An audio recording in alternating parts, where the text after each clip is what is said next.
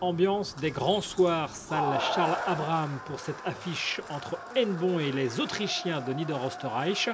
Pour ce troisième match de poule, les Morbihanais, après deux défaites, devaient s'imposer pour continuer à croire en une qualification pour les quarts de finale de cette Ligue des Champions. Face aux favoris du groupe, la Garde du Vœu a créé l'exploit en s'imposant trois matchs à deux.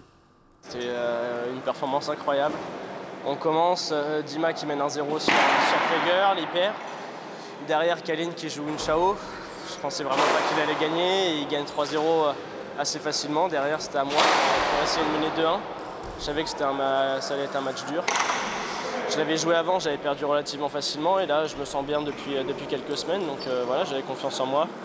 Je laisse l'équipe à 2-1, derrière c'est Dima sur, sur, euh, sur Will c'est vrai que ça va être très très difficile. Il perd 3-0 normalement et derrière Kalin qui fait encore un super match.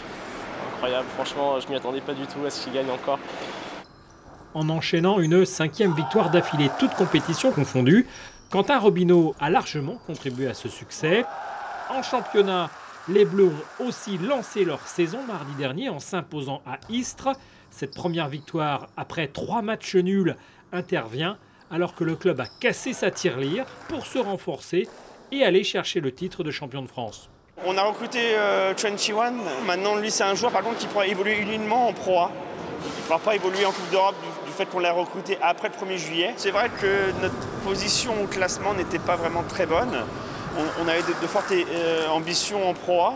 Et ça, le début de saison n'a pas été si bon que ça. Même si financièrement, c'est sûr que ça pèse. Mais il y, a des fois, il faut prendre des, fortes décisions. Pour voir évoluer la nouvelle recrue N-Bontaise, il faudra attendre la venue de Jura Morez le 17 novembre, cinquième journée de Pro A.